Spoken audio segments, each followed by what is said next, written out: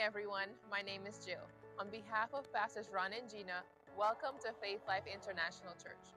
Before we start service, let's take a look at the announcements. Have you plugged into a life group yet? Aside from the word centered discussion, life groups are an opportunity to deepen your connections with like minded believers, all while enjoying food and fellowship. Don't miss another week of these transformational gatherings. Scan the QR code to fill out the Life Group Locator form and get plugged in. It's time to hippity hoppity over to the Resource Center, your one stop shop for all the Easter fun your heart desires. There are so many cool things for purchase, including baskets, Easter eggs filled with candy, and more. Stop in before or after service to stock up while supplies last. Have you recently joined the ministry and are ready to take your connection to the next level? Join us for Growth Track beginning on April 7th as the instructors teach you all about the ministry and all the ways you fit in the vision. Please see Deacons Curtis and Zenobia Proctor to secure your spot or email czproctor at faithlife.tv. Time is quickly approaching for Easter, and we are so stoked about the powerful play, The Verdict, written by our very own Pastor Gina Holmes. Join us with your family and friends as we celebrate our risen Savior with musical selections, beautiful ministering dance, a powerful play, and an on time word. Tell everyone you know this is a can't miss day. That's it for the announcements. Now we'll continue with worship, followed by the word. We hope you enjoy. Amen. That lion gets me every time. Amen. Good morning, Faith Life. Good morning. Good morning. We're so glad that you have joined us this morning. You know, even in preparing for service this morning, I was thinking about Palm Sunday and what this week means. And so, for those who've joined us online, we're so glad that you are with us. If you don't know what Palm Sunday is, I'll just tell you just a little bit about this week. This is the Sunday that begins the Passion Week, where Jesus came into Jerusalem knowing good and well what lied ahead and decided that all of us were worth it. So, if God decided that we were worth it, isn't it just our reasonable sacrifice to give Him praise this morning? Amen. So, we don't have to wait until Resurrection Sunday. We can praise now, knowing that it is a finished work. So, we're so excited that you've joined us. We've had our announcements, we've already set the atmosphere in prayer, and immediately we're going to go into worship and then we're going to go into the word, and then we're going to have an opportunity to sow. Will you pray with me really quickly? God, we thank you for this day. We thank you that we always say that this is the day that you have made. We will rejoice and be glad in it. And on this day, we have a new understanding and a new revelation of what it means to praise you. We thank you, God, for the sacrifice that you have already made. And we thank you that this week we get to be reminded that you counted us worth it. And so we put our hands together already. We put our hands together already. And we say, Thank you, Jesus. We say, Thank you, Jesus. And we give you our reasonable sacrifice of praise in Jesus' name. Amen. Come on, let's get ready to worship. Hallelujah. Hallelujah.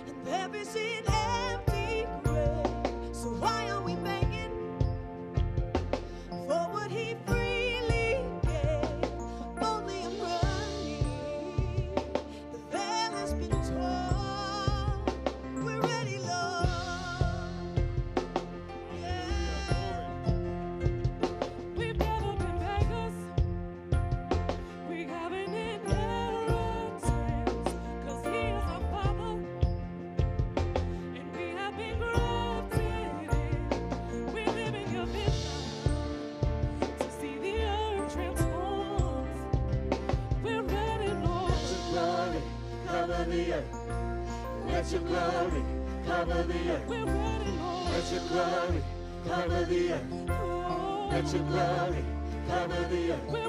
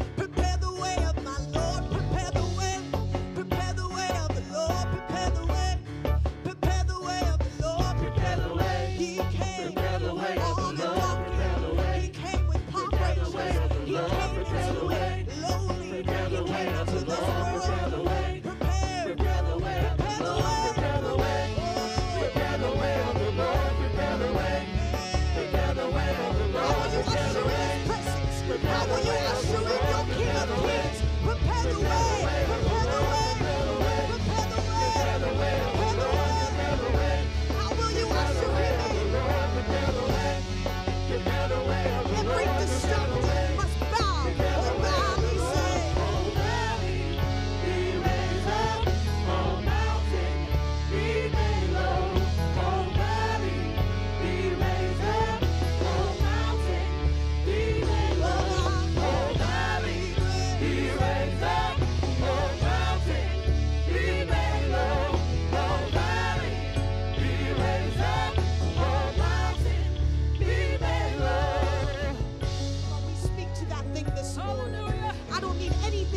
your praise this morning. If I'm speaking to depression, you must bow. If I'm speaking to sickness, you must bow. If I'm speaking to mental anguish, you must bow. If I'm speaking to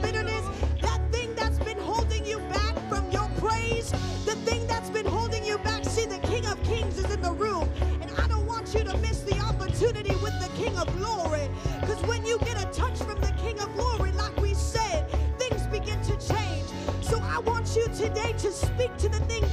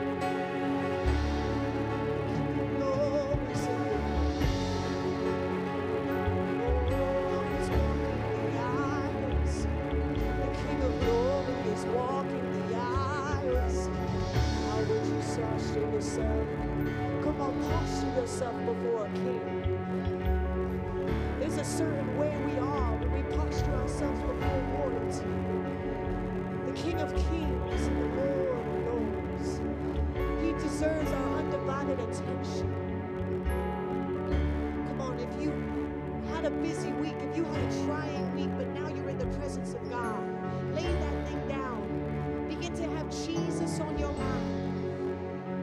Picture the picture the King walking the aisles. The weight of the train of His robe fills the temple. The train of His robe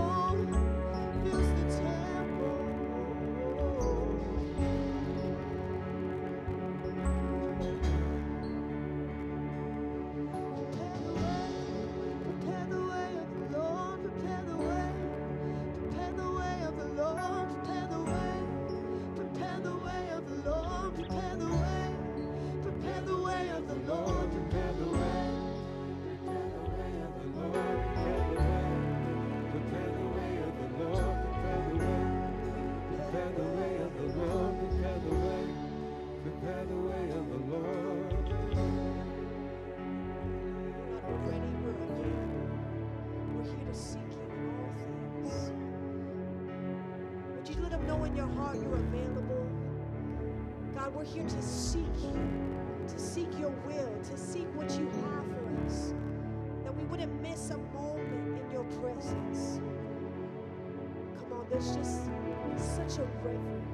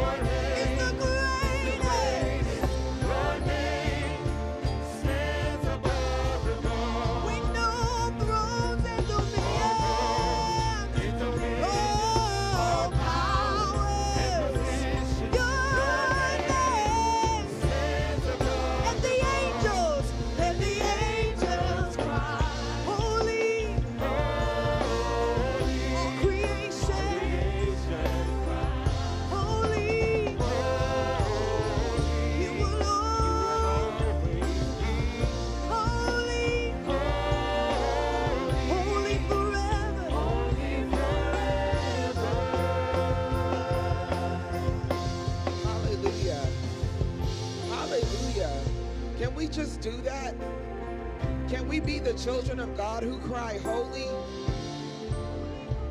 Holy, holy are you, Jesus. Holy are you, Lord.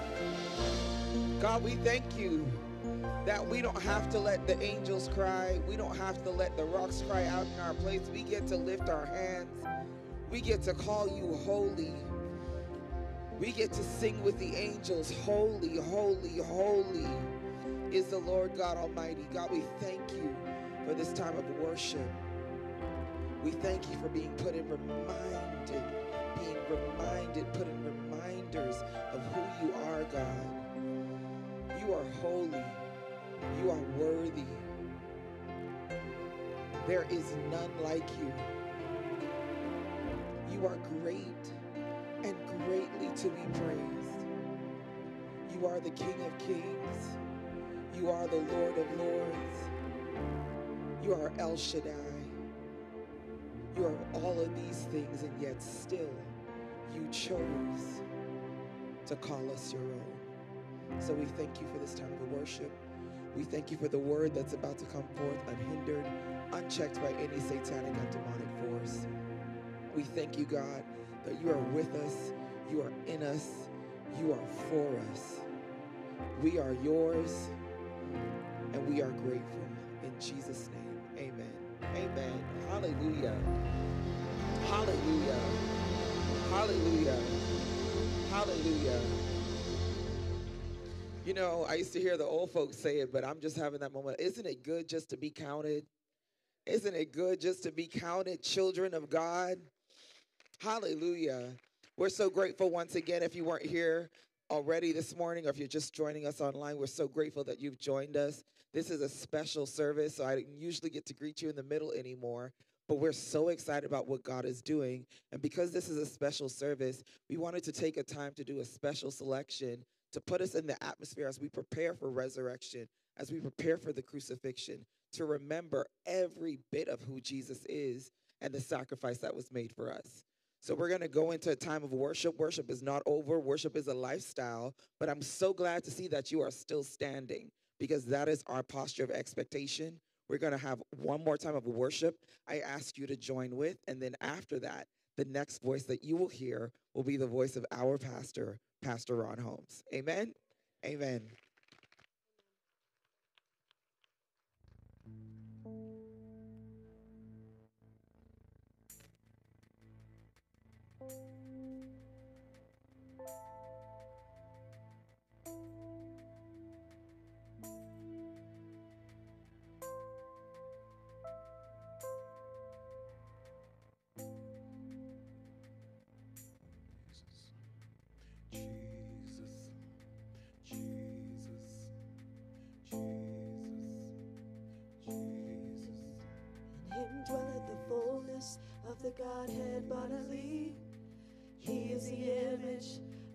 Invisible God, our Sabbath, our rest. The Word made flesh, prophet, priest, and king. Unto you we sing. In him dwelleth the fullness of the Godhead bodily. He is the image of the invisible God, our Sabbath, our rest. The Word made flesh, prophet, priest, and king. Unto you we sing, Jesus. Was with God, and the Word was God. Jesus. He was the Lamb of God, the Lamb that was slain before the foundations of the world. Jesus. He said he was the resurrection and the life, and those that believe in him shall live and not die. He's the lion and the lamb. He's the great I am. From the dead he raised, exalted and praised. He reigns forever. There will never be another. Jesus the Messiah, the way, truth, and life. Hallelujah. Glory to God. Hallelujah. Jesus. Blessed thirst after righteousness, for they shall be filled. Jesus said to the world, You're a light shining in the darkness, a city on a hill. Jesus taught us how to pray.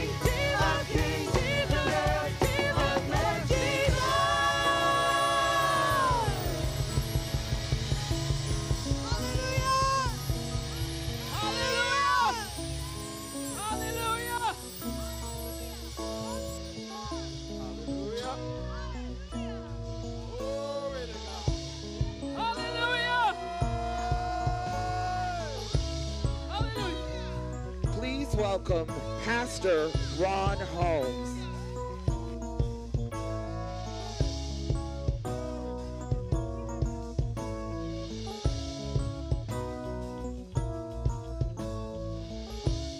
Hallelujah. Oh, come on, you just called his name, not giving praise. Somebody in here. Hallelujah. Come on. He is our not just our soon coming king, but our reigning king. Come on, give it up for Jesus, somebody. Hallelujah. We give you praise, Master. We give you praise. Yeah, yeah, yeah, yeah, yeah, yeah, yeah, yeah. Amen. Amen. Hallelujah. Jesus, we bless you. Jesus, we honor you. Hallelujah. Jesus, we honor and we call your name. Hallelujah. We give you praise. Yes, yes, yes, yes, yes, yes. Glory to God. Amen, amen, amen. That's good stuff. Come on, give the, first of all, give the Lord Jesus a, a, a great big hand clap of praise right now. Come on. Hallelujah. Amen. Now, if you don't mind, just clap your hands. Uh, you know, let's just bless the worship team and just thank them for all of that and helping to set the atmosphere this morning. Good stuff, good stuff, good stuff. Glory to God. Amen. Love it. Love it when a plan comes together. Love the anointing. Amen, somebody. Is that good stuff? Praise God. Turn to somebody and say, Did you get that? Did you enjoy that? They were preaching to you, not just singing. Weren't they? They were preaching, not just singing. Glory to God, pointing you in the direction of the gift of God, the answer. Hallelujah, the real answer. Glory to God. Turn to somebody and say, Got Jesus, got Jesus. And wait for them to answer you. Come on, don't just say it. Turn to somebody else, say, Got Jesus, got Jesus. Because if you don't got Jesus, we can we can give you Jesus. Amen. Is that all right in here, somebody? Give the Lord one more real big hand clap of praise. Amen, amen, amen, amen. Glory to God. I'm excited about today, but you know, I, I'm excited about our church. You know, I, I'm excited about our church. I love our church. Yeah, I mean, come on. Am I the only one in here? I love our church. I love our people. Amen. Somebody in here. There's no place I'd rather be than in front of you on a Sunday morning, and that's saying a lot because I like food. Amen. Somebody. Glory to God. I just can't wait to get out there and get some food. But I love, uh, I love being in front of you. Amen. And love being in the presence of God. How many sense the presence of the Lord? Yeah, love being in the presence of the Lord. Love being in the presence of God.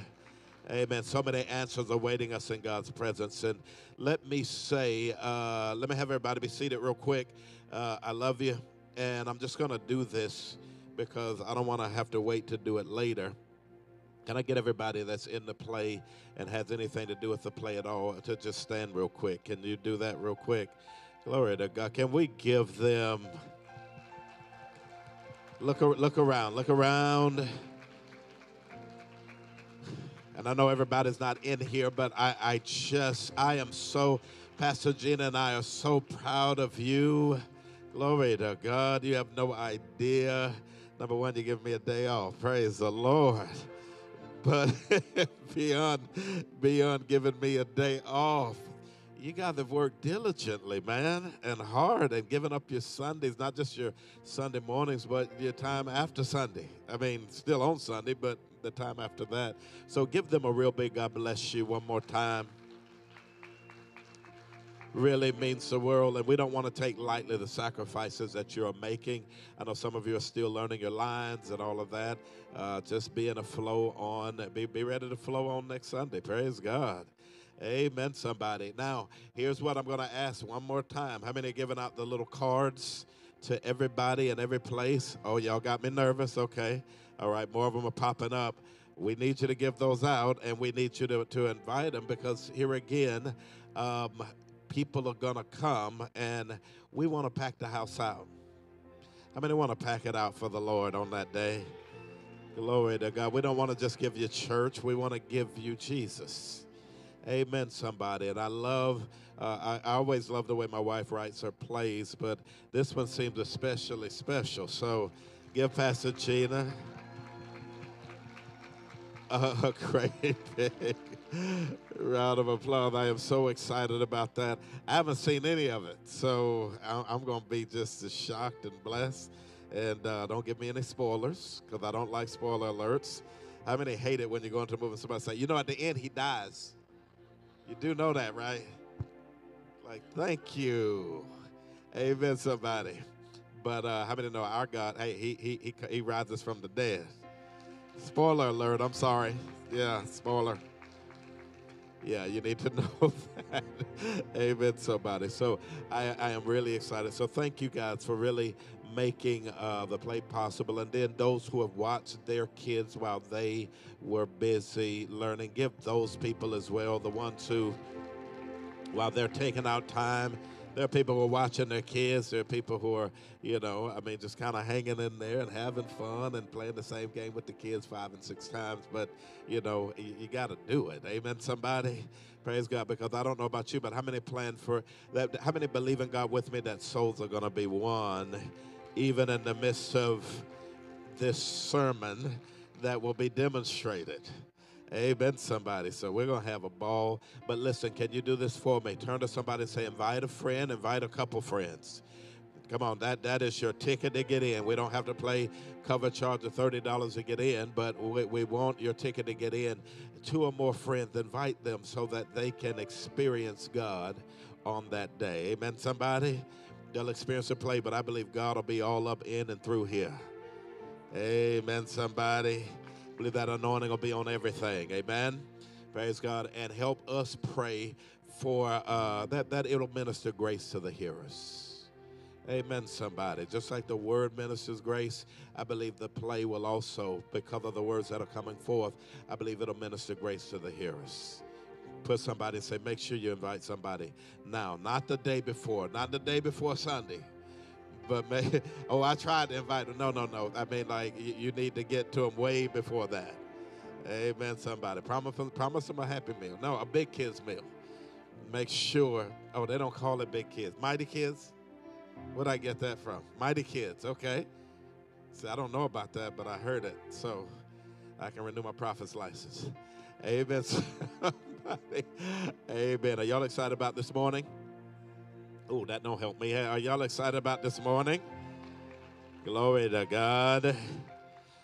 I'm going to teach something now. I don't know that I've ever taught this, number one, period, but I don't know that I've ever taught this like this. I know I have, in many cases, kind of spoke over this. Like we speak through things, like most pastors, we will speak stuff and we'll just kind of ride through the story real quick, but not necessarily teach the story so people can have insight. So today, I actually want to give you a little insight on some things because uh, being up at three in the morning, having many know God talks to you?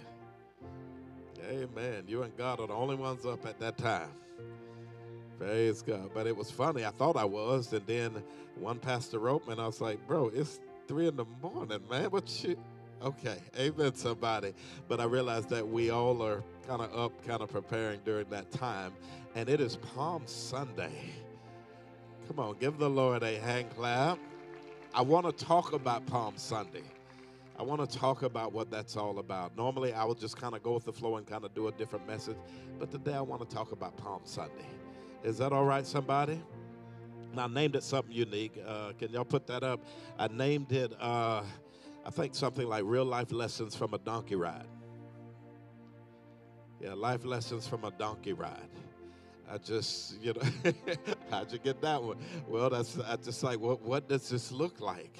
And there's a lot of insight that I want to give. Now, I encourage you again, we're moving into this thing of more and more ev- evangelism. Uh, can you put my guy that I just uh, I just led this guy to the Lord? I want everybody to see him so you can be praying for him. Yeah, I um, I'm always at Boston Coffee, and at Boston Coffee, I got to you know. Isn't it amazing? And I, I want you guys to do this because sometimes I think you do what I do but I woke up and I said, Lord, I want to lead somebody to the Lord today, man. I want to, I want somebody to know Jesus. Anybody been there like you, you know, you're enjoying Jesus so much? And I said, I want to, I want somebody to, I just want somebody to know you. So show me who you would have me to lead to you. Just get my attention and I'll be your mouthpiece. And while the guy was serving me drinks and stuff and all of that stuff, uh, the Lord began to talk to me about him. And I said, Well, give me how to do this. Just give me a, you know, give me an open door. And at a certain point, I just say, Hey, man, you're a good guy. I could tell you're a good guy. You're a Christian? You know Jesus? And he said, Well, you know, me and God have a thing. And I said, Really? So if you die right now, you, be, you know you'll be going to heaven. He said, I think I'll be all right. I said, Well, you know, can we make sure? He said, Yeah. I said, Can I pray for you? He said, Absolutely. And how many know oh, shortly thereafter, he's part of the family. Yeah, he, he we got a we got a born again believer at Boston Coffee House. and so I'm encouraging you, a lot of you guys, listen, sometimes the reason people plateau, especially in uh, challenging times like now, is we hear the gospel, we just don't do the gospel. We get the word, we just don't walk out the word. So, you know, Pastor, give me something good and hot right now. Well, that's great as long as you put feet to the word that you receive. I don't know about you, but when I get to heaven, I want a line of people that I led to the Lord, uh, you know, on my lawn when I get out there. Amen, somebody. Come on, how many understand that God doesn't count his wealth by gold streets? So you'll be walking on all that, but God counts his wealth by the souls he possesses. Say amen. So turn to somebody and say, I need you to make God richer this week. Now, we can't make God richer, just you can, because he counts his wealth by the souls he possesses. So he loves it when you tell people about Jesus. Amen. How many know Jesus is coming? Jesus is soon to come. Oh, if you don't know that, you better get it together soon and you better hurry. Jesus is soon to come, man. Just look outside and you'll know it's, it, it's not long from here. Amen, somebody. So, uh, you know, make your calling and election sure. Is that okay? Amen. All right, let's stand to our feet. I just want to give you a moment to breathe. And we're going to get right into this. All right, life lessons. How many can handle some more life lessons? I'll give you a few life lessons from a donkey ride. Amen, somebody. Usually, when you go to the fair, the kids don't get on a donkey, usually, they get on ponies. But Jesus went a little bit further than that. Amen, somebody. So, we're going to talk about that. Hold that Bible up high. Glory to God. Somebody shout hallelujah. Come on, shout hallelujah again. Amen, somebody. Hold that Bible up and just repeat after me. Come on, say, This is my Bible. Come on, say it like you mean it. Say, This is my Bible. Say it is the voice of God to me. Come on, say, I am who it says I am. Say, I can have what it says I can have. Come on, say, I can do all that it says I can do. Say this morning, say, I will be taught the oracles of God. Say, my ears are anointed to hear. Say, my mind is alert. Say, my heart is ready to receive the incorruptible, indestructible, ever living Word of God. Come on, say, I'll never be the same. Turn to the neighbor behind you on your right side and say, You'll never be the same. You don't know where your right side? Okay, my right side. Okay, on your side. Yeah, right. Yeah, say, You'll never be the same. Say, We'll never be the same again in Jesus' mighty name. Come on now, look, give the Lord a crazy shout of praise in here. Come on, give the Lord a crazy shout of praise in here, somebody. Hallelujah. Amen, amen, amen, amen. Glory to God. All right, so uh, I'm excited. Now, where we're going, you're going to need to uh, have your, your pad and your pen and your stuff. Y'all don't do pads and pens no more. Uh, your iPad and anything you can write on. Uh, write on the back of somebody if you have to. But, you know, just, you know, you're going to need to write some stuff down. Is that all right? Say, Pastor told me I can do it. I know you just bought this jacket, but Pastor said I can do this. Praise God. All right. Hey, don't you dare. and we'll be both buying them a jacket. Amen, somebody. But uh, we're going to get ready to have some fun. But before I do, I want you to go real quick to about four people, and I want you to tell them something good is going to happen for you this morning. Come on, I want you to declare, find four people. Don't be lazy. You're not lazy. Amen. Find four people. Glory to God. Come out of that seat. Come out that corner. Amen. Somebody in here. Something good. Something good is going to happen for you this morning. Yep, yep, yep. Amen, amen, amen. Glory to God. All right, I love you. You can make your way back to your seats if you can. If you got at least four or five, five is a number of grace. Amen. Somebody in here. Y'all got it? Are we okay? Praise God. Who said sit down? Somebody didn't say sit down? No, no, you can sit down. You can be seated. Praise God. I'm just messing with you. You're okay. I'm, I'm just messing with you. Praise God. You they just no, I didn't I didn't say sit down, but you're okay. All right, praise God. All right, John chapter 12, and we're going to go 12 through 15. John chapter 12, and we're going to go 12 through 15. Praise God. Again, today is Palm Sunday, and I want to give you a few points about Palm Sunday. I think it's going to help you. Amen, somebody? I want to get in that. And uh, real quick, just so now, I really believe under the anointing, I will get to all three points. But in case I, you know, yeah, well, we're not, not even going to put it in case. But real quick, I want you to see what the points are so that you can just be prepared for me to speak into a couple things. So, point number one. Praise God. Point number one, uh, we always talk about Carmen did a song called Hosanna, Hosanna. I mean, remember that. Blessed he who comes in the name of the Lord. Okay, you, you, you know that one. But, but Carmen did that. But Hosanna, Hosanna, yeah, there you go. There you go. Hosanna has to do with a lifestyle.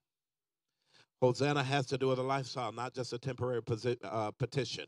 Hosanna has to do with a lifestyle. Now, we're going to define Hosanna and we're going to talk about that, but it has to do with not just a uh, temporary petition before the Lord, but we want to talk about Hosanna as a lifestyle.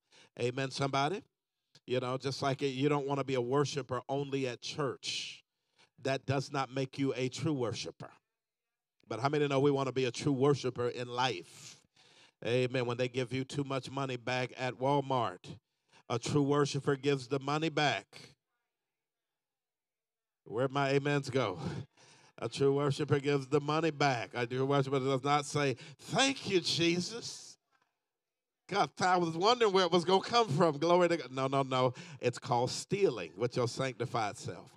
A- amen, somebody. Are y'all here? So, you know, a true worshiper would do that. It's not, not just about lifting your hands, but it's about a lifestyle. Amen, somebody? All right, point number two.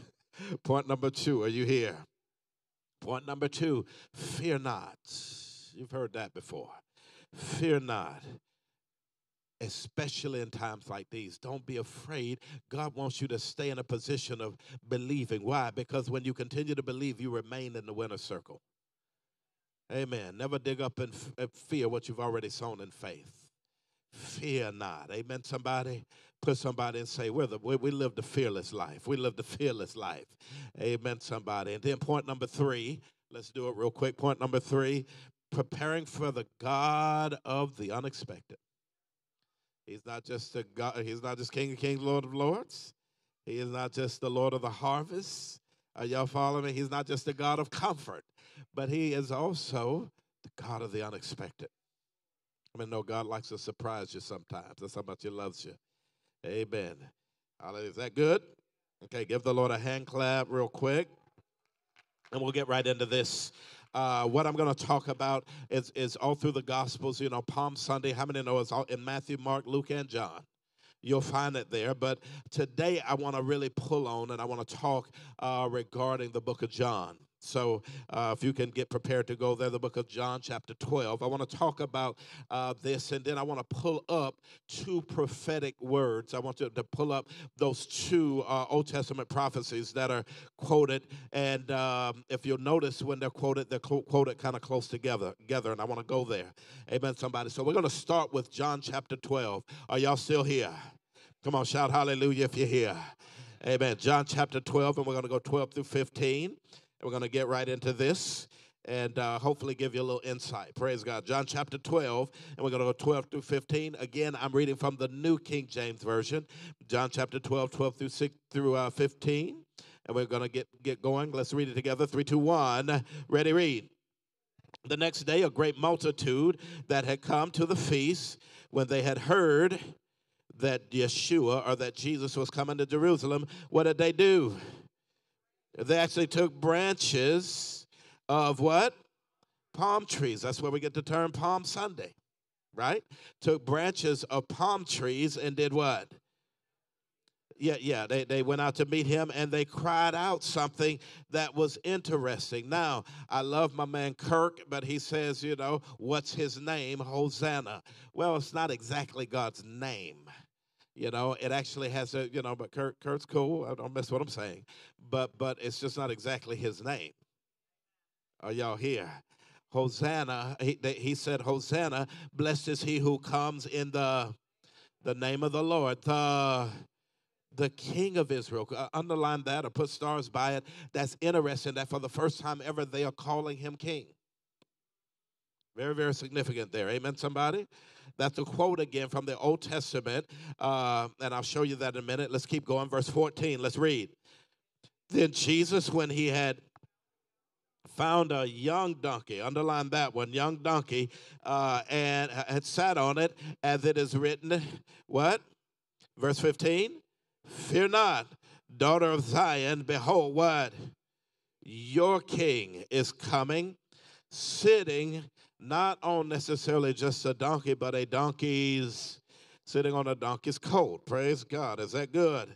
So I'm going to take these two Old Testament uh, prophecies that were quoted here in John, and we're going to talk about it. I just want to pull out maybe three or four truths out of this that I really feel like will help you on Palm Sunday. Is that all right? and, and, and we want to give you insights that's going to just be a game changer, I believe, for your life. Is that okay? As we talk about this, I think it's going to be important. It's going to be a blessing to your Christian walk. Amen? All right. Uh, number one, point number one Hosanna. Hosanna. Hosanna means save us now actually means save now, but when you look at it in context, it's save us now. So it's more of a petition. It's Lord, save us now, save us now. Uh, it ha- and again, when we're talking about uh, honoring the Lord, thanking the Lord, this needs to be a lifestyle. Just like tithing uh, keeps the windows of heaven basically open over your life. How many know Thanksgiving keeps the gate open? The Bible says, enter into his gates. Okay, I need all y'all here. Say, enter into his gates with thanksgiving and into his into his courts with with praise. Amen, somebody. So uh, it needs to be a lifestyle. Say it needs to be my lifestyle. It needs to be a lifestyle and not just a temporary uh, petition. So let's look again at verse 13, and we're going to read it together. 3, 2, 1, verse 13 of what we just read. John chapter 12, verse 13. We're going to read it one more time. 3, 2, 1, ready, read. He took branches of palm trees and went out to meet him, and they cried out, What? Hosanna! Hosanna! What? Blessed is he who comes in the name of the Lord. Who is he? He is he is the king of Israel. It says that they cried out Hosanna. First of all, let me explain something real light to you. This is the very first time that Israel actually called Jesus the king. Amen, somebody in here. The first time they actually called Jesus the King, and in so doing, they actually were saying with with that with that speech or with that declaration, they were saying, "You are the Messiah." Come on, come on, somebody in here, because they're quoting a messianic scripture. Say amen, somebody. So this is the first time they recognize them not just as prophet, but they recognize him as king. Oh, shout hallelujah and hear somebody. Why is that important? Well, the Bible says in Matthew chapter 10, 41 through 42, I mean, remember that he said, if you receive a prophet, and how many know Jesus was that prophet? Amen. If you receive a prophet, he wasn't only prophet though. But the Bible says if you receive a prophet in the name of a prophet, what's going to happen? You'll receive what? You're going to receive a prophet's reward. Now, what's a prophet's reward? Long life and what? Prosperity. Amen, somebody. Is that good? Praise God. So, long life and prosperity. And uh, he says, you receive a righteous man. Maybe it's not in the fivefold ministry, but if you receive a righteous man in the name of a righteous man, he says there's still a reward attached to that. Why? Because God is a rewarder. Amen, somebody. Bible says, Seek me and you'll find me when you do what? When you search for me with all of your heart. He says he rewards them that diligently seek him. So you're not asking for all these things, it's just in God's heart to bless you. Say amen, somebody. So he says, He who receives a righteous man in the name of a righteous man. He says, Here's the promise from heaven you will receive a righteous man's reward. Now, verse 42, it says, Whoever gives, even uh, if you begin to bless or a cup of water to these little ones, he says, uh, In the name of a disciple, even, he says, Assuredly, I'm saying to you, he says, that will not go without a reward. Say amen, somebody. But here they are welcoming the king of Israel. And then they quote the scripture using the word Hosanna. Everybody shout Hosanna. Let's do that again. Hosanna. Hosanna. I, have asked people all over, and I would ask, you know, hey, what, is, what does that mean to you? What, what does Hosanna mean? What do you think it means? And how many know mostly what you hear from people, even Christians, is praise? It means praise, Pastor. It means praise when we say Hosanna. Well, that sounds good. Now, hallelujah. Yeah, I get you. Giving God the highest praise. But Hosanna is not necessarily just that. Amen, somebody in here. Amen. It's what most people think. But the first part, Hosanna, write this down, means save. The first part, part of that, Hosanna, means to save. The second part, Nah, has to do with now. I don't know about y'all, but I've gone through, I've been a Christian for, uh, I think we're pushing close to 40 now years. And how many know there's a time you need the presence of God, and there's other times I need you right now. I, I don't need you to wait. I don't need you to take some time. I don't need to be in a waiting room. God, I go turn to somebody and say, I know what he's talking about. There are times that you don't need, uh, you know, that blessing on delay. I need you right now. I need an answer right now. Now, here's the awesome thing. How many understand that God is our refuge and strength? And the Bible says He, eh, you know, how many remember the old folks that used to say, may not come when you want Him, sweetheart, may not come when you want Him, baby. But He's always on time. Well, that's good talking, but just not good teaching. Why? Because the Bible says He don't have to come, He's a very present help, He's already here. Amen. When I release my prayer petition, I don't have to, it doesn't have to go higher than the ceiling. Why? Because He is on the inside of me. Amen. So my help is already. Turn to somebody and say, Your help is here. Your, your help is already here. Say amen, somebody. So Hosanna means to save. And that last part, na, has to do with now. Say amen, somebody. And I want to show you a scripture from the Old Testament that I think will just kind of bear this out. So watch this because this is how it's written in the Old Testament and it's this is how I was quoted. Go real quick to Psalms 118. Are you still here? Is this good? All right, Psalms 118, and we're going to go 25 and 26. When you got to say, I have it. Uh, okay, Psalms again, 118, 25 through 26, New King James Version. They're quoting the exact same thing that you just heard. They're just saying it like this. Let's read it. Three, two, one, ready, read. Save what? Save now. Lord, we need you now. Save now. Amen, somebody. Keep going. I pray, oh Lord. Oh Lord, I pray, do what? Send now prosperity. Just wanted you to know that they bring the economy into it too. Send now. Lord, if you're here, that means we should be blessed. Oh, come on in here. Verse 26. He says, Bless is he who comes. How? In the name of the Lord. We have blessed you from the from the house of the Lord. So they're, they're not only saying it's affecting our economy, but this is exactly where they were at the nation. Save us now, they were saying. And this is the scripture that they are quoting. Oh, if that's good stuff, give the Lord a hand clap. Glory to God. Just want you to know why we do what we do. And sometimes you have to have the backstory. Say amen, somebody here. So think about it. How many times have we prayed a prayer, God, I need you to, I need you, I need to get out of this right now. God, I need you to help me now. God, just save us now. Lord, we need you right now. God, me and my family need you. We don't know what to do, so we just need you now. Well, look at me. Part of it, I think, is when you don't know what to do, you do know what to do. Let's do that one more time. When you don't know what to do, you're going to walk out of here knowing what to do. Say amen, somebody. Why? Because he says that anointing is what teaches you. That means that sometimes I'm going to be home and that sometimes I'm going to be, uh, you know, I'm a gamer. I'm going to be doing this or I'm going to be in a different spot. And at that time, I cannot reach Pastor Ron and I'm going to need to know what to do at the time I need it. Say amen, somebody. Well, there's several ways you can do that. Number one, how many know it's there's a thing called praise? I can honor the Lord right where I am. I can think about the goodness of Jesus, and I can begin to raise a standard in that grocery store, and I can begin to praise. I can go to that library. I might have to do it quietly, but how many know I can lift those antennas and supernaturally draw in the presence of God? Say amen, somebody. That no matter where I am, I can shift the atmosphere. You're a change agent. You got to know how to shift the atmosphere. Turn to somebody and say, He ain't just talking to me, talking to you. Amen. You can shift the atmosphere. Why? Because when I begin to honor the Lord, how many know His address is P.O. Box Praise?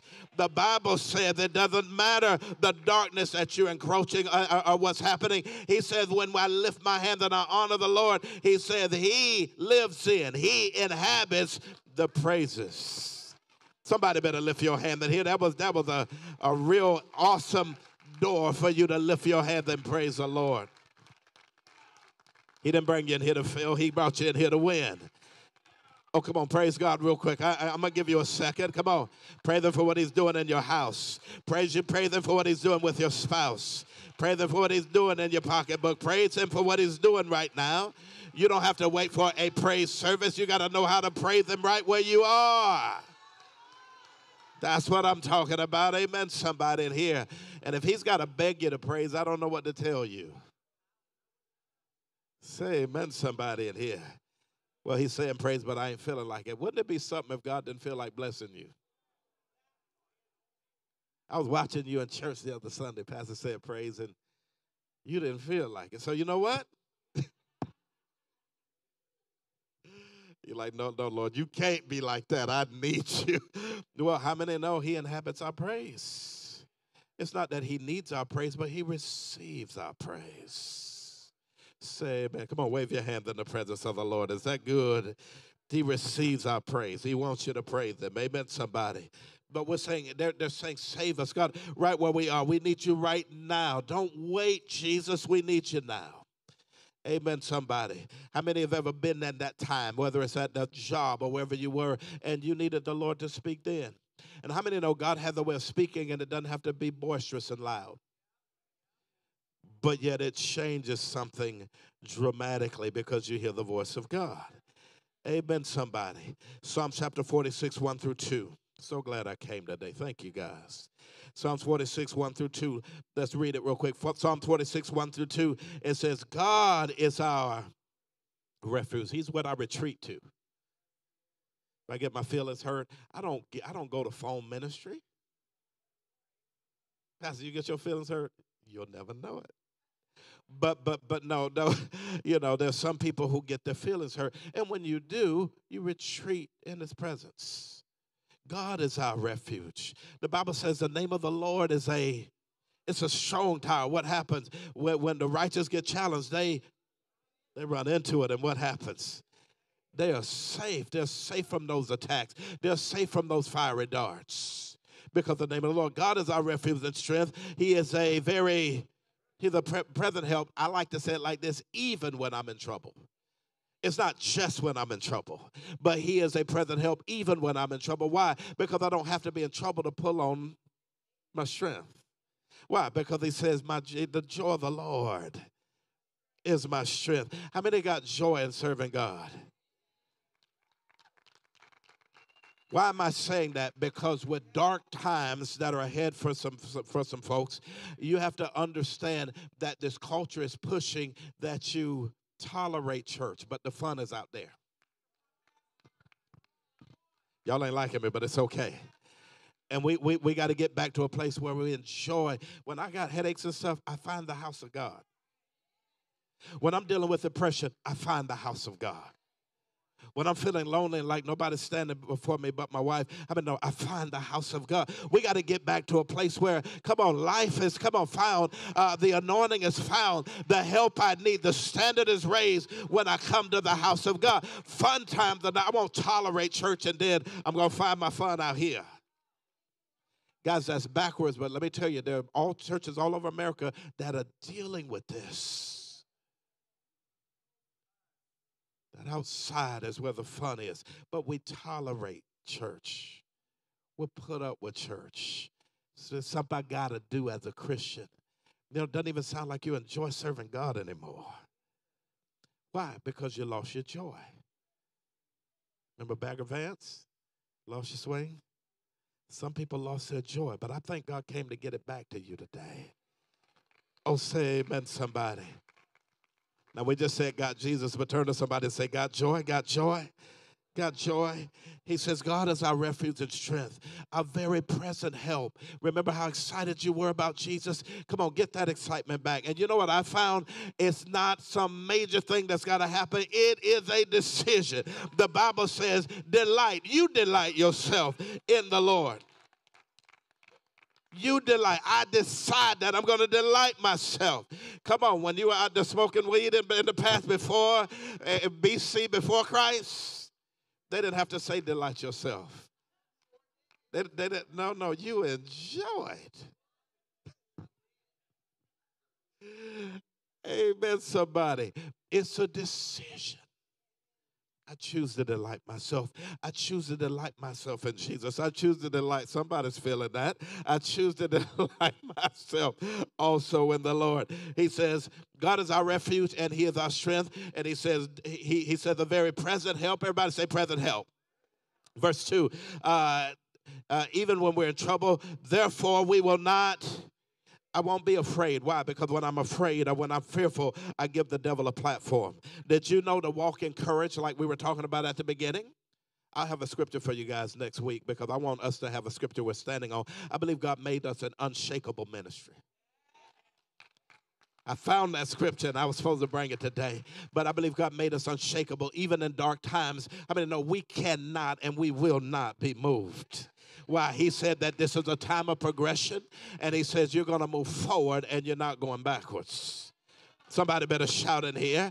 Amen, somebody. If I'm going to progress, it means I got to go forward. It means I can't look back where those old issues are. I mean, no, that's not for me. That's for buzzers. I'm an eagle. Buzzers deal with dead, dead things, dead issues. We already handled that. We already talked about that. But how many know eagles fly high? They fly high above all, uh, uh all the challenge, all the. Tr- In fact, look at me. Eagles use that thermal draft, that wind that trouble brings, to lift them higher. Shout amen. Oh, come on, I receive. Somebody give the Lord a hand clap. Push somebody and prophesy, say you're going higher, whether you know it or not. You're going to go higher no matter what's pushed your way. We're going higher. So no matter what, I can still, I can still open my wings up. When I open my wings, no matter what's happening to me, no matter how I'm being talked about, I can still go higher. Because I'm not on my own, I'm, I'm, I'm, I'm walking with Him. I'm soaring with Him in 2024. 2024 is your year to soar. Say amen, somebody in here.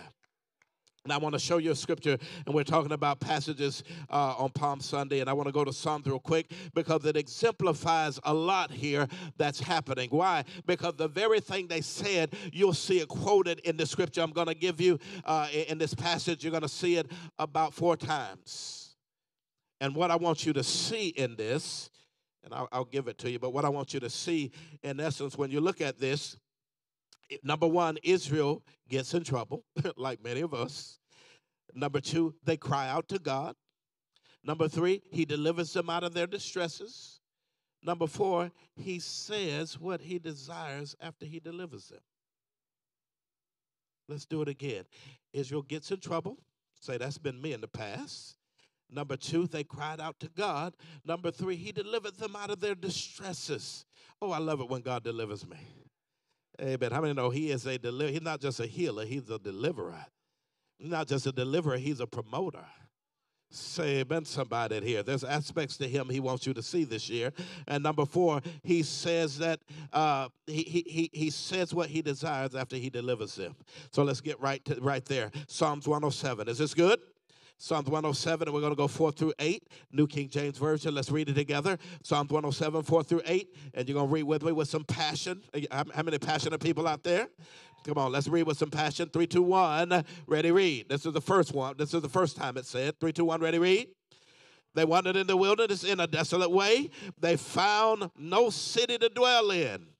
Verse 5 hungry and thirsty, their soul fainted in them. Verse 6 they cried out to the Lord in their trouble. And what happened? God is so faithful. What did he do?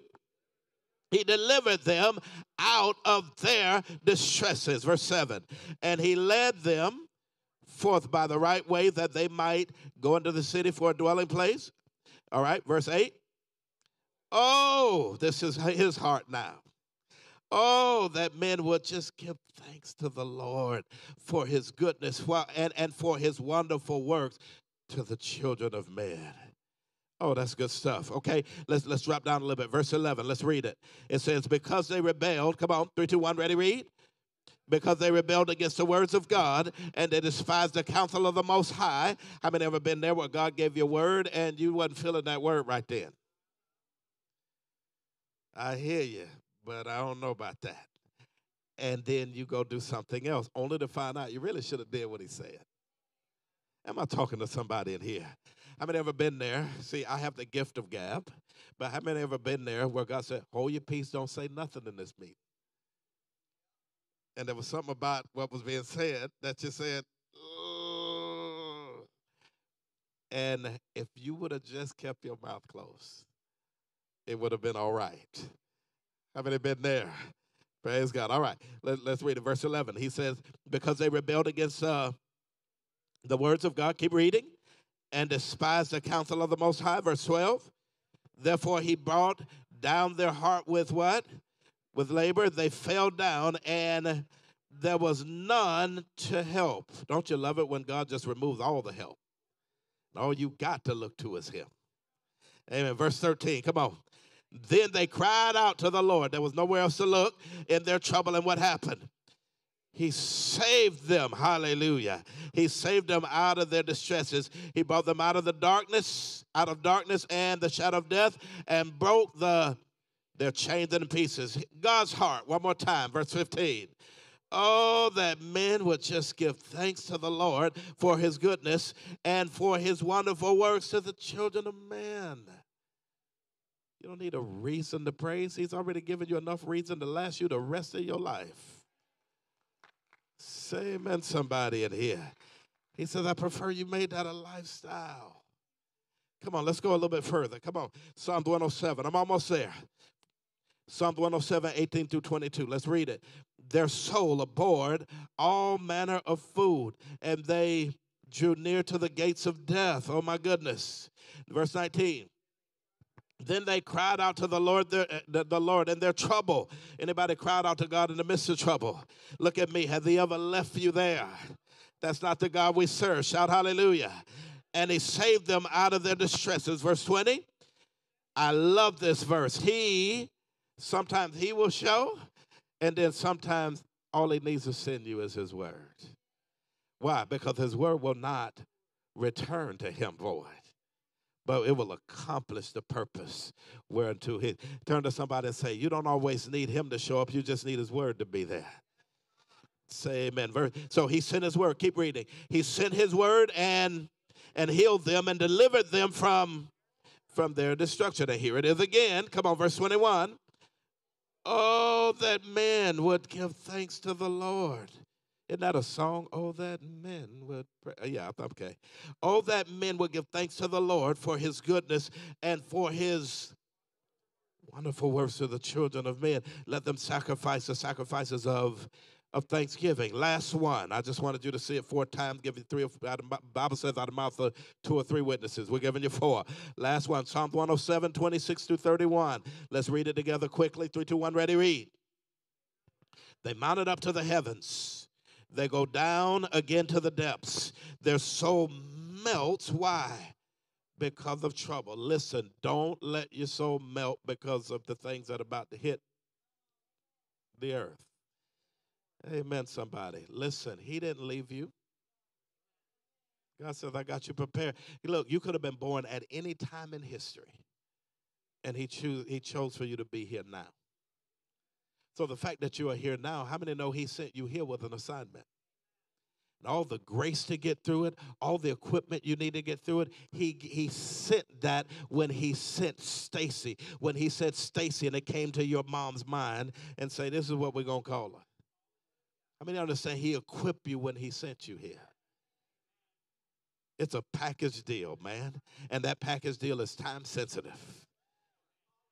Say amen. At the right time, you're going to have the right word for what God has you walking through. Say amen, somebody. Is that good? So good preaching, Pastor Ron. I appreciate that. They reel, they reel to and fro and stagger like a drunken man and are at their I thought that was interesting. How many ever been there where you heard that expression? Pastor, you better pray. Somebody better pray because I'm at my wit's end with her. I'm telling you. We had the wit's end. I ain't, I we ain't gonna keep doing But I, that's that's where'd they get that from? The Bible. They got to the, how many know your wit's end is we we we about there now? Amen, somebody. I'm about to drop all of this now. I'm at my wit's end dealing with this. But look at what happened when they were at their wits' end. What does the Bible say? He says they reel to and fro and stagger like a drunken man and are at their at their wits' end. Amen, somebody. Verse 28. Then they cried out to the Lord in their trouble, and what happens? Brings them out of their distresses. He calms a storm that got them all nervous so that the, the waves are stilled now. Say amen. Verse 30. Then they are glad because they are quiet. Uh, so he guides them to the desired haven. Oh my God, he's asking, come on now, this is the heart of the Father. He says, Oh, that men would give thanks to the Lord for his goodness, four times, wow, and for his wonderful works to the children of men. Somebody give the Lord a hand clap real quick. Now, he's not rebuking them. Uh, everybody get that? He's not rebuking them for crying out to him in the midst of their trouble. He's not rebuking them for that. He's actually saying, I wish, back to old that man, he's saying, I wish that this was a lifestyle for you. I wish that this was a lifestyle for you. Look at me, and you gave me thanks all the time. In other words, you're setting your house up. The atmosphere is good, not because you got the AC on, but the atmosphere is good because you're a thermostat and you set the temperature in that house with your praise. Come on, somebody in here.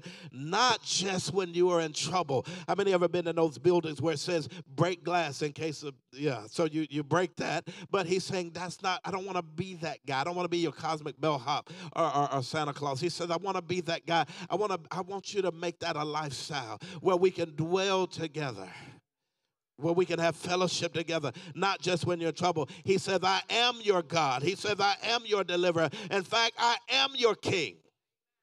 Say amen, somebody. But I wish that you would regularly give thanks to God, not just because of what he did for you yesterday, but because of his goodness to the children of man. Come on, it's wonderful works that he does. Give the Lord a hand clap if you got that. Is that good, somebody? He says, I wish you would give me thanks all the time. Why? Because I don't want you just to worship at church, I want you to be a worshiper.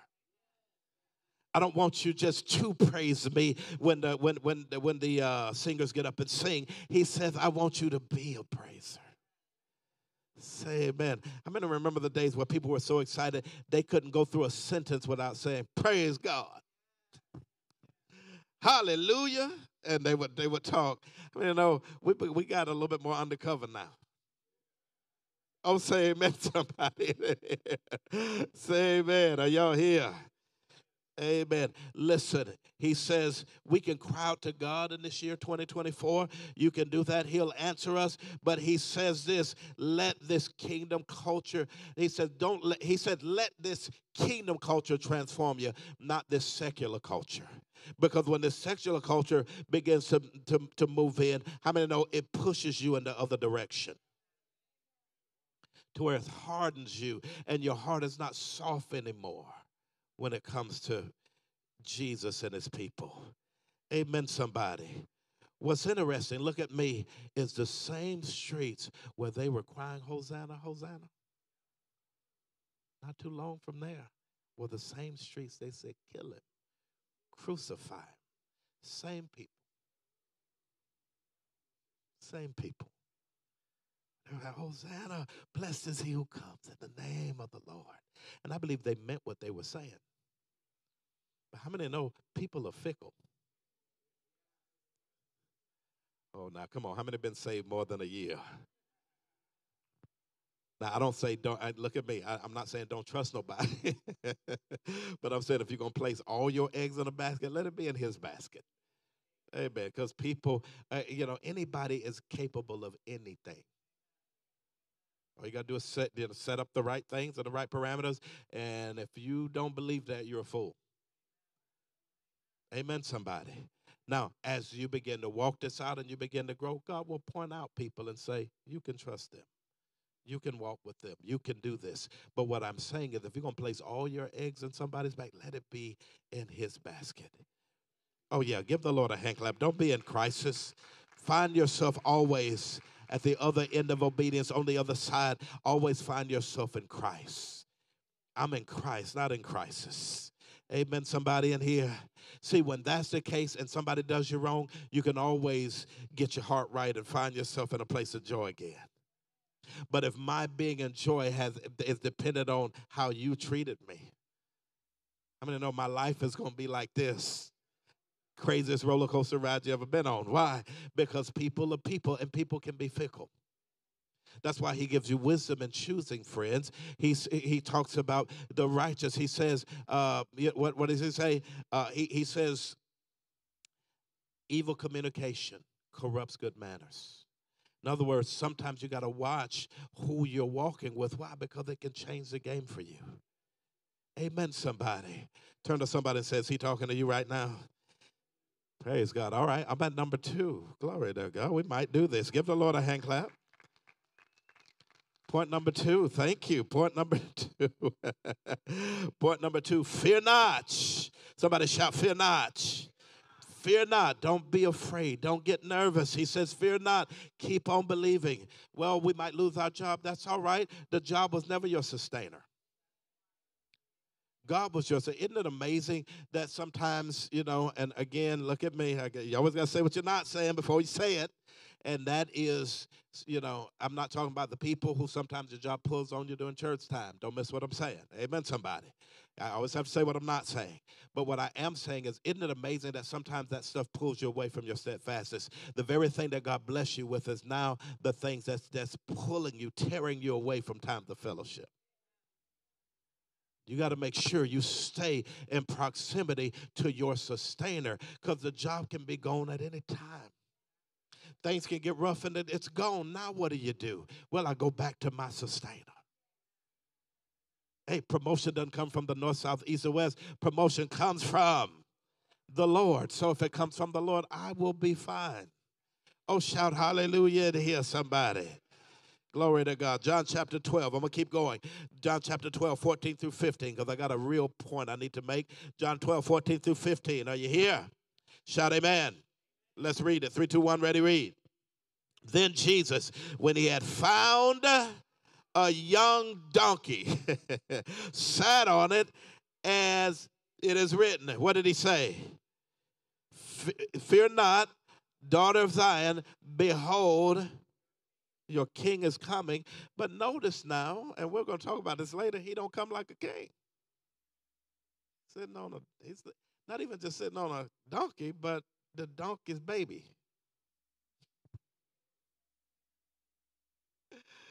We're going to talk about that. I think you need to see that. Amen, somebody. Look at me. Pastor Ron always giving us something that just, my God. They've never, I have never seen them get it right on Palm Sunday pictures. Ever. Why? Because if you go to the book of Matthew, they didn't just get the donkey, they got the donkey and the colt. And Jesus didn't sit on the donkey. Jesus sat on the colt. Think about it, it almost looks silly. And it's not to, you know, upset anybody or, or, or, or you know what I'm saying, but you need to know what he did it and why, why, what he did and why he did it. We're going to touch that. Say amen, somebody. But never dig up in fear what you've already sown in faith. Are y'all here? So this is the command. He says, Fear not. Turn to somebody and say, Fear not. Don't worry, I'm going to get to it. Fear not. Say, Fear not. It's a command. God is not asking, amen, somebody. He's speaking in the imperative sense, but it is, look at me, not a negative command. It's a positive command. Say amen, somebody. There are several uh, commands that God has released in His Word that are positive. This is one of them because, in, in its imperative form, I mean, no, He's saying, Don't be afraid, I got you. Don't be afraid, I, we're going to take care of this. I told you I'd never leave you nor forsake you. I told you, well, I'm just here in this apartment. I told you I will be with you even to the end of the age. I got this. Turn to somebody and say, God's got you. God's got you covered. Something of the something amazing is about to happen to you. Something amazing in 2024 is about to take place for you. There's about to be a transfer that you didn't even expect that is going to happen. Why? Because his promise, the promise of increase is still over your life. How do you know that, Pastor? Because every time the Lord dealt with your heart to sow, you didn't hesitate. So it will happen just like he said. Oh, if you got that, say amen, somebody. He says, no, no, no. He says something amazing is about to take place for you. He says, remember, he says, remember the attitude of faith is joy. Fear not is mentioned in the Bible a hundred plus times in the word. Fear not. Don't be afraid. Fear not. And then different forms of that, like don't be afraid, is mentioned over, it's about 365 times, which means all through the year you need to know don't you dare fear. Don't you dare fear. I'm with you. Don't you dare create a platform. Well, what about my marriage? Don't you dare get nervous about that. He said, I'm here. Oh, say amen, somebody. What about me being single and alone? He said, Don't you be afraid, girl. You know I'm working things out, but, but behind the scenes, says, I'm here with you. Say amen, somebody in here. Turn to somebody and say, That's your word right there. there listen, he's saying if 365 times a year, he's saying, Don't be afraid. Fear not. What is he actually doing? He's saying there will be several opportunities this year to be afraid. Several opportunities this year to fear. He just said, Don't take any of them. Don't take it. And if you can't handle the news you're watching, don't watch it. Can't handle what you're seeing. If it's going to provoke you to fear, if it's going to cause you to start shaking in your boots, he says, don't watch it. While you're doing that, how many know this thing is the most accurate? Oh, come on in here. Come on, give the Lord a hand clap if you got that. Listen, don't put your faith in the, the, the prophets on the news. Put your faith in, in, in God. Amen. Somebody. Put your trust in God. How many know if you put your faith in God or your trust in Him, you'll always be standing in the winner's circle. If I got somebody that can identify with that, shout hallelujah. Even though it's a command, it's a good command. He's saying, relax, I got you. Anybody ever had that? Your buddy say, yo, yo, he said, Oh, oh okay. well, you do the work then. What, what was happening? That's total peace. And he says that's the place he wants you. It's like saying any anything, like something like we say things like, I'll take care of this. Anybody been there? Getting ready to pay, and they say, No, I got you. Oh, well, glory to God. Or be happy. Don't worry. Be happy. Lighten up. Anybody ever had somebody say it? If God's telling you don't worry, He says, I'm here. I got you. Fear not. Amen, somebody if he's saying that, he's saying it for good reason. Last night, uh, I was writing a guy. And it's amazing. People say, well, you, you give prophetic words all the time. But no, the Lord said, write him and say these things. Do you know, even in stuff like that, I, I fear tries to grip you. What if it's wrong? What if he's saying, what the heck you talking about? But I have learned, you just need to see, because here's the thing the devil always, why does the devil get fearful when you obey God? See, courage is not the absence of fear. Courage when you say, I can stand in faith though fear is present in the room. I can stand in faith and I will walk right through that door. And because there's, there's a blessing on the other side of my obedience, even if there's fear right at the door. Oh, say, amen, somebody. Now he wrote back. He was crazy excited. He's like, man, I don't know how you knew all that, da da da. But when I started writing, it just the Lord kept saying, say this, say this, say this, say this. Tell him over the last quarter. Here's what he dealt with. Tell him this is gonna happen. Tell him even the thing with the marriage, da da da. And this is the guy that's miles away. But the Lord said, say this. You have to understand fear tries to grip you. Why? Because the enemy needs a platform or he cannot stop you. Turn to somebody and say, stay away from fear. Stay out of fear. Say amen, somebody in here. When I saw my first angel, uh, you know, you see a 12 foot dude. I mean, understand. Uh, I don't know why we think, but we feel like it's probably going to do something to me. And so, first thing you do is, yee, what, what, what are you doing? You're fearful. Now, the angel that dealt with me did not say, don't fear. He just looked at me like this. When he did that, I said, Well, glory to God, it's my angel. Say amen, somebody. And the peace of God, after he did that, flooded my heart. Amen, somebody in here. Think about it. What do who is bad enough to be to, to, to stand against our God? Say amen, somebody in here. No, that was I was waiting for an answer. Nobody. Say amen, somebody. Anybody ever needed an angel to show up in your situation? Or in, in, in, times in the Bible where they were outnumbered, where Israel were outnumbered, and uh, how many know outman? Ever been outnumbered and outmanned and overwhelmed? Anybody? Glory to God. How, how many know God's commanded you is fear not?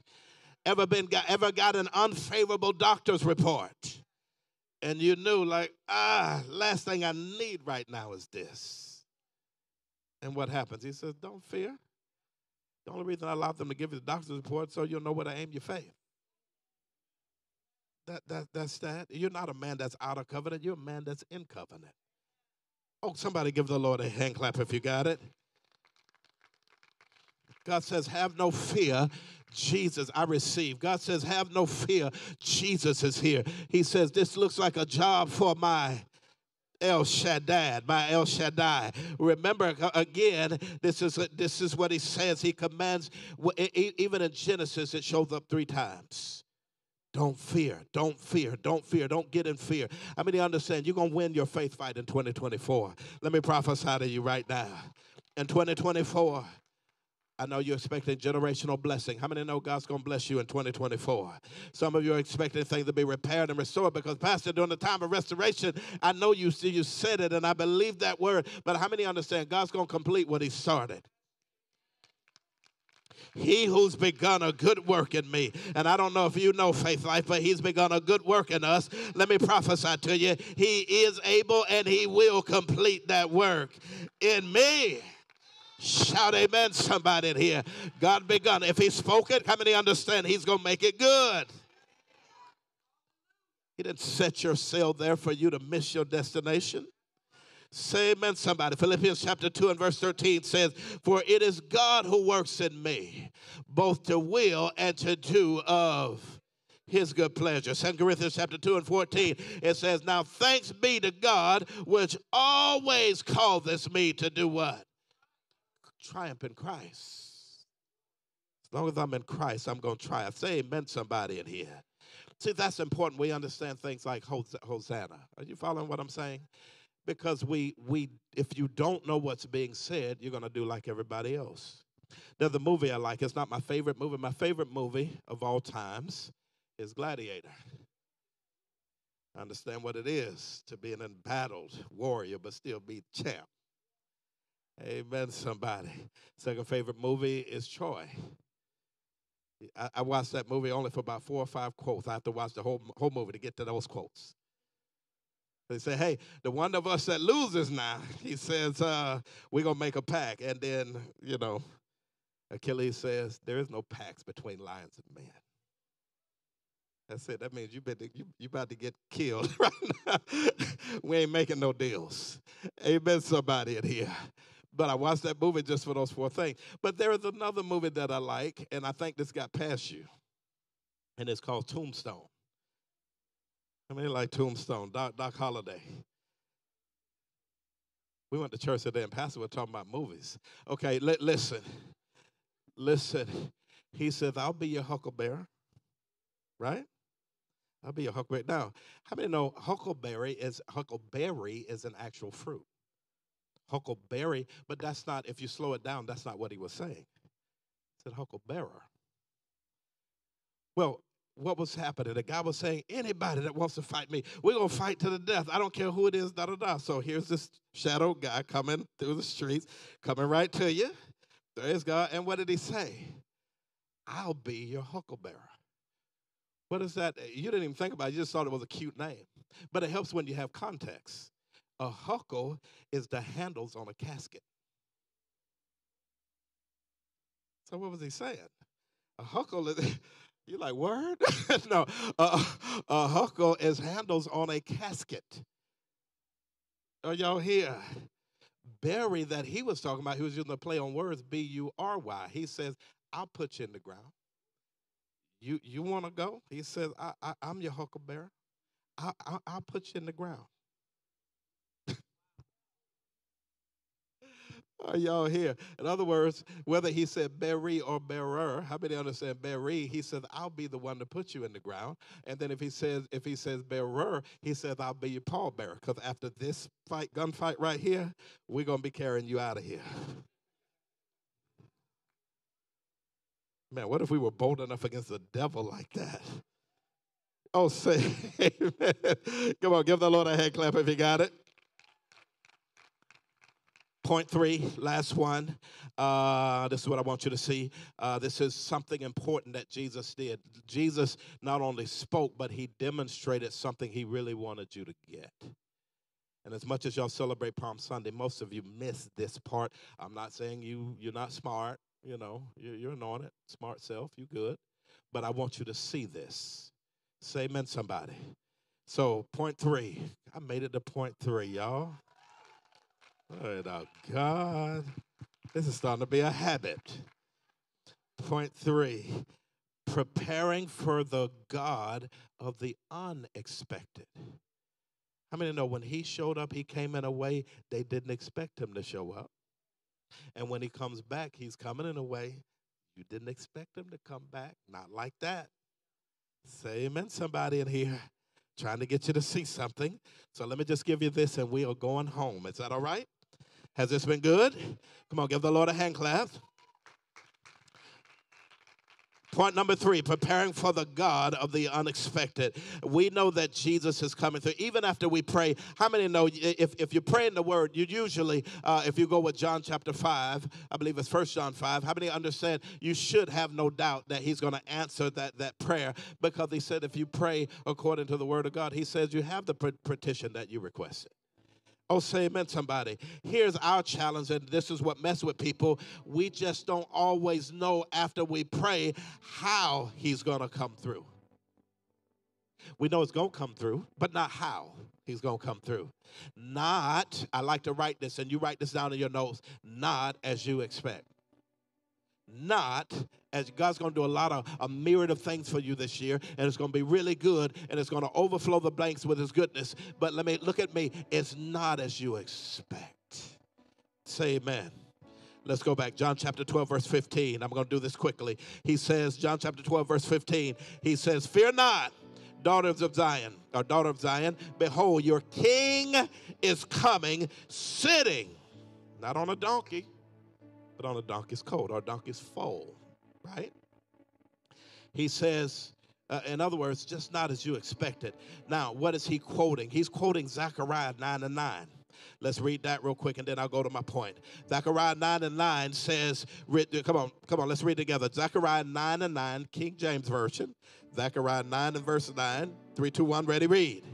He says, Rejoice greatly, O daughter of Zion. Shout, O daughter of Jerusalem, behold what's happening. Your king is coming to you. Oh, hallelujah. Say amen, somebody. He is just and having salvation. Now, listen, you can't miss this because you heard him say it, but you missed it. Lowly, riding on a donkey, a colt, the foal of a donkey. See, there's something that's either very right, and we know it's right because it's Jesus, or it's very wrong with that picture, right? here is the word of God saying the king's coming. He's coming. He's coming. He's coming, but he's not coming like you expected him to come. He's not coming like you think he's to come. In that day, how many know when kings came to town, first of all, they didn't ride on donkeys? Look at me. King didn't come to town riding on a donkey. Kings rode on war horses. You had to come in there. People needed to know this is you. This is a king. Oh, say amen, somebody. Are you here? Why is that important, Pastor?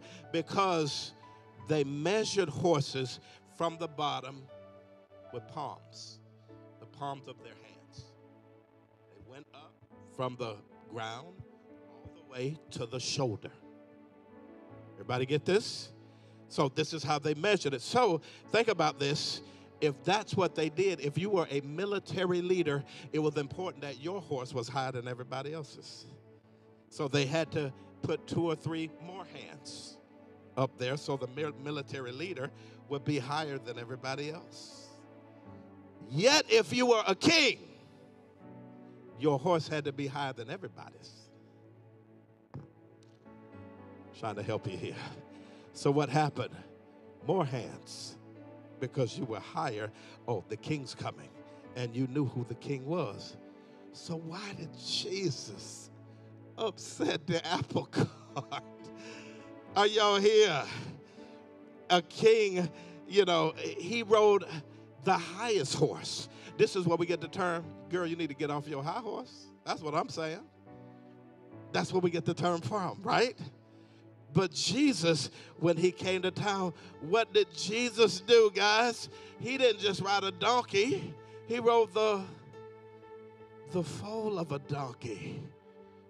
Remember Zechariah, the king is coming? Now he warned you how he would be. Matthew chapter 11, 28 through 29. Don't worry, I'm about done, three minutes. He says this Come, come unto me, all you who are laboring and are heavy laden. He says, Why? I'll give you rest. Take my yoke upon you and do what? I want you to learn my way of doing things. Amen, somebody. Why? Because I am meek, I'm gentle, and I am I'm lowly and hard. And if you follow me, you'll find rest unto your soul. That's a picture of Jesus coming. But in that day, think about this Jesus, when he showed up, let's go back to the chart. King, horses up here. Military leader, bam, horses there. Everybody see this? Soldier, bam, horses here. Y'all got that? Regular horse. Donkey, foal of a donkey. Ever seen those low rider motorcycles?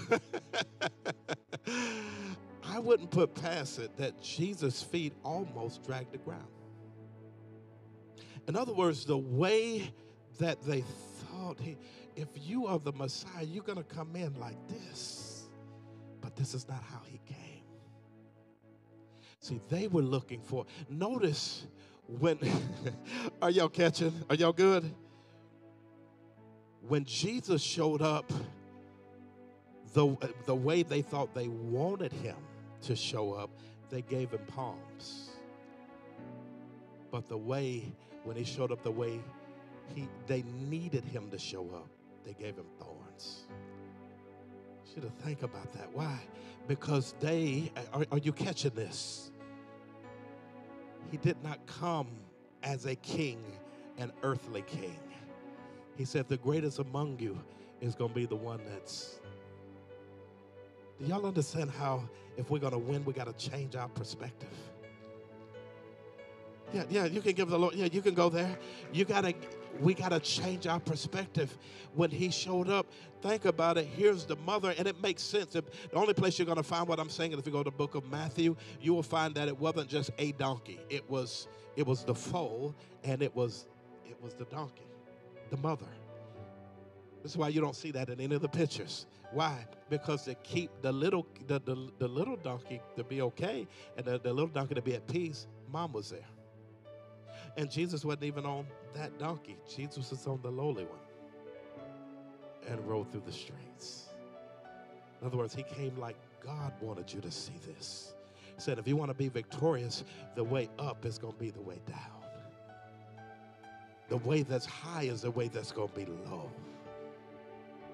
Say amen, somebody. He says, every man will declare his own goodness. And, and he says, you know, you, you guys receive honor that comes from each other. But he says, I'm demonstrating something to you.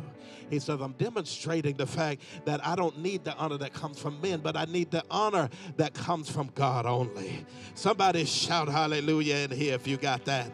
They were looking for a temporary answer, but Jesus was bringing a permanent solution.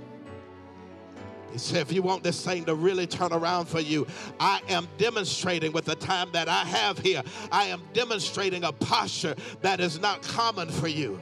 But it's heaven's posture if you want to be victorious as a believer. Somebody give the Lord a shout. Did y'all get anything out of this? Come on, you can do better than that. Did y'all get anything out of this?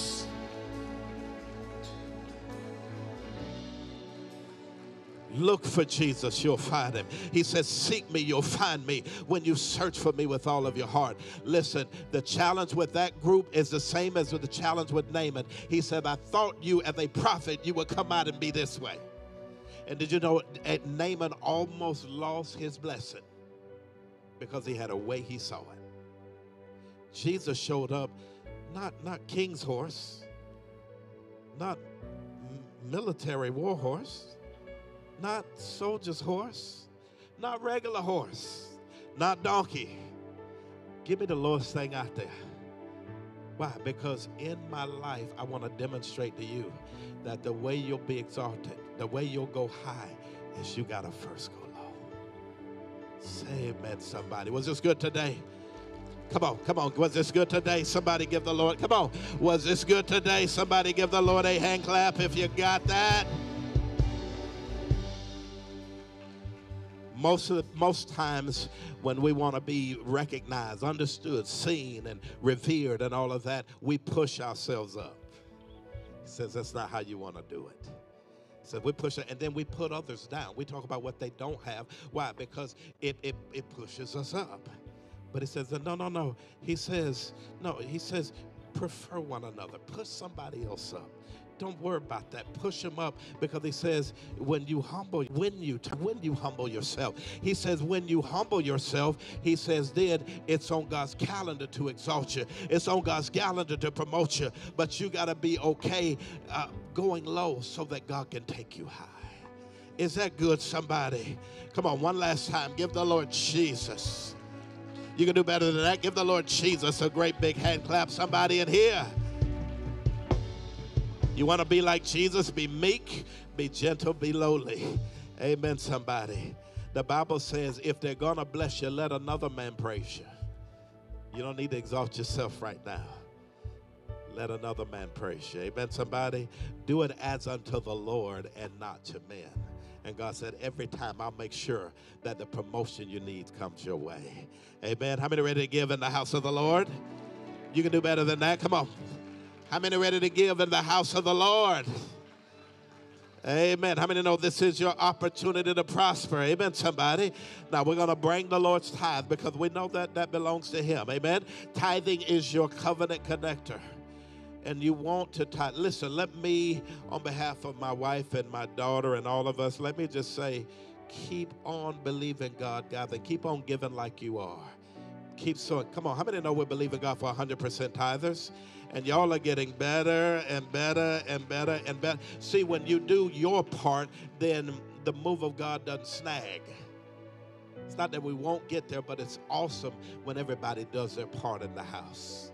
So tithe today. Honor the Lord with the tithes. Not because you have to, but, but because you get to. Amen, somebody in here. Because I love God and I'm the seed of Abraham, not the seed of Moses. Thank God for Moses. But Moses was the giver of the law. The seed of Abraham, how many know Abraham was a, he's a tither. He's a tither. Not because it was a law that was written, but because of his heart. God, you blessed me so much. Part of my praise, part of what I'm going to give you is a tenth of everything I got. Amen, somebody. And remember, your offering is everything above and beyond the tithe. Amen, somebody. How many know your seed prophesies your future? How many, because you're here, you are excited because your seed is representing your future right now? My seed is prophesying today, Pastor. I'm not just doing this, my seed prophesies on my behalf. The Bible says this He said, He who sows sparingly shall, uh, will do what? He says, You're also going to reap sparingly. He says, He who sows bountifully shall do what? Reap also bountifully. He says, Every man as his purpose in his heart, so let him or her give, not grudgingly, nor of necessity. Why? Because God loves A. And God is able to make, He's not just able, He's going to do it because He's faithful to do it. He's able to make all grace abound towards you that you'll always have. Shout right quick, get it on your tongue. Say it 2024, I'll always have all sufficiency for all things and say, I will abound to every good and charitable work. Come on, let's worship God with the tithe and the offering. Come on. Hallelujah. Yes, yes, yes. Come on, ushers.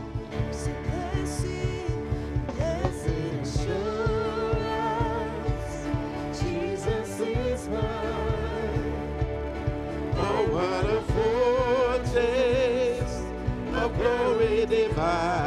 Come on, somebody here.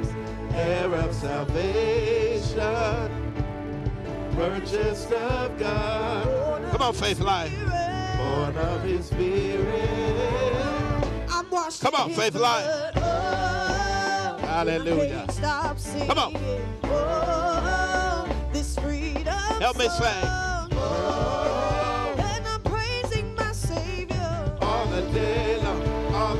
song. Oh, help me sing. Come on. Praise is pouring out. Praise is pouring out. Come on. And I will dance in freedom. You have brought me out. Prophesy. You have brought me out. You have brought me One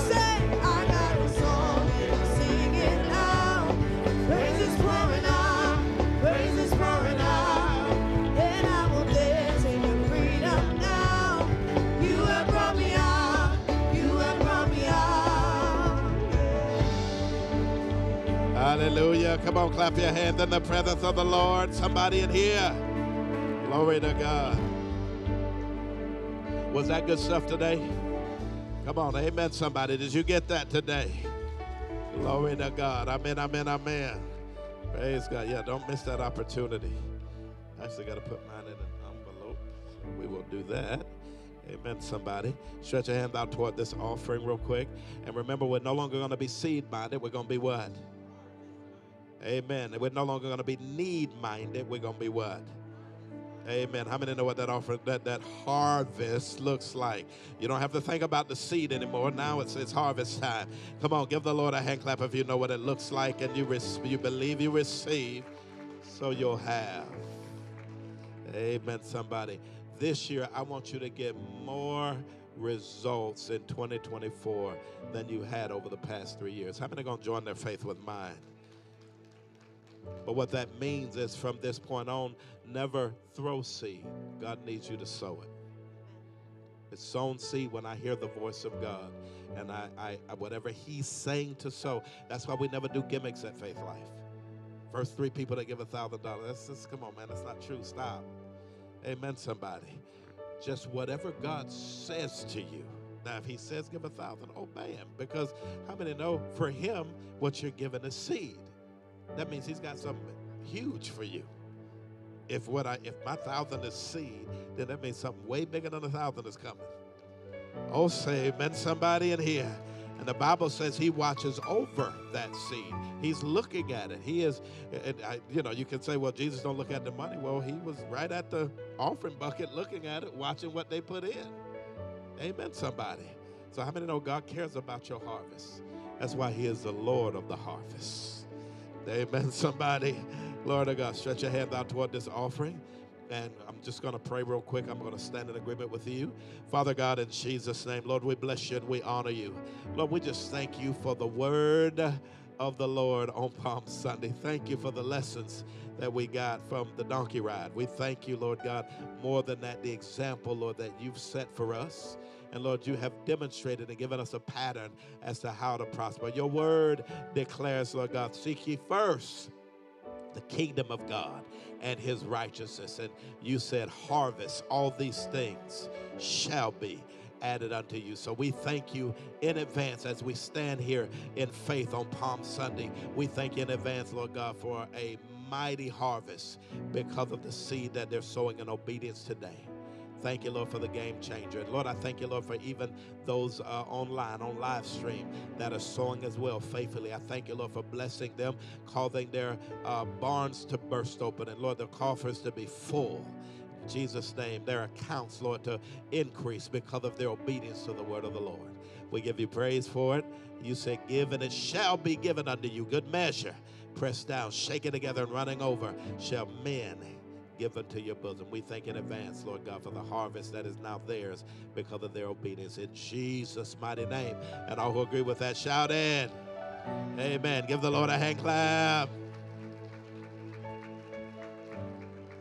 Amen, amen, amen. Was that good stuff? Glory to God. Well, did you enjoy it today? Turn to somebody and say, How about you? How about you? Did you get anything out of that today? Life lessons. How many got those life lessons? Hosanna. Let worship, let praise, let that be a lifestyle, not just a temporary petition, not just something you give Him today. We don't tip God anymore at Faith Life. We don't tip God. No, no, no. We're going to give you the glory and the honor that's due you. He says, Fear not. Why? Because if you keep believing, there's something on the other side of your standing in faith. And last but not least, what did he say? Uh, what did we say? My people that heard me? You don't remember? Number three? Yeah. Right, yeah. Expect the God of the unexpected. In other words, God will answer you, just not always the way you thought. But He's still going to answer you. Amen, somebody? Give God some praise today. Did y'all enjoy it? Now, is there anybody here who does not know the Lord Jesus Christ as Savior? Yeah, offer. As Savior, and you would like to?